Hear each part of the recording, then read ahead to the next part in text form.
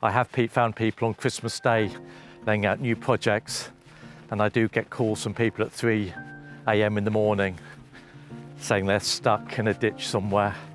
So science definitely never sleeps within Wytham Woods. My name is Nigel Fisher. My uh, official job title is Conservator of Wytham Woods. My job is actually to coordinate all the management and the research within a thousand acres of woods. Every day is different. I could be setting up new research plots. Uh, I could be trying to find certain soil types for certain researchers. I could have school groups up here showing them about science. The variation is huge. The amazing thing about walking around the woods is there's always hidden projects. You just have to get your eye in. Once you've got your eye in, you realise you are walking through a sea of science in the woodland. So Wytham is famous for the long-term data sets, which includes birds, small mammals, badgers, grasslands, and climate change. And we are unique in the world from that respect. So this is one of our bird boxes. There's over 1,100 of these boxes within the woods. They're for blue tits and great tits, and this is part of the longest running biological research data set in the whole of the world. And so uh, I think there's about eight people at the moment checking these boxes. Uh, and they check them from the date of first egg lay all the way through to when the last chick fledges. People often kind of come to the woods and ask us why we haven't learned everything there is to know about a woodland within 75 years.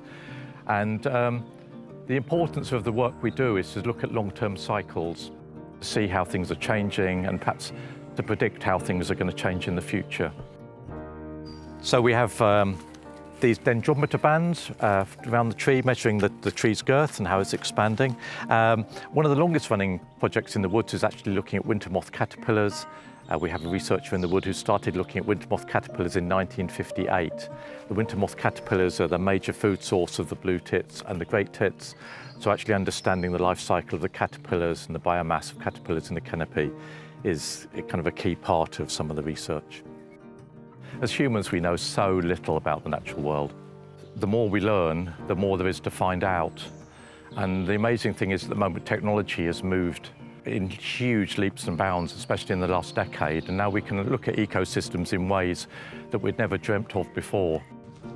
If you wander around the woods, you'd actually see there's ground monitors measuring how much light is coming through canopy. And then to correlate with this, we have satellites going overhead. So we can look at whole health of forests now from using satellite data and ground truthing.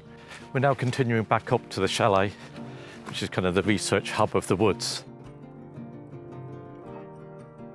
Uh, this is the open lab, and I expect the Ash dieback researchers to be in here shortly to be looking at soil samples.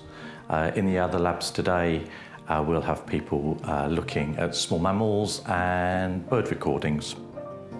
Yeah, so I'm, I'm here today kind of taking all the glory for everything that happens in the woods. I couldn't possibly do this without um, my, my, team of foresters, uh, my team of admin support, and then I, I also couldn't do any of this without the kind of cooperation of all the researchers even in the woods behind me here to kind of my left-hand side, I know there's five projects going on in exactly the same area. So none of the researchers can work without actually understanding what the other researchers are doing and all the data sets interlink as well.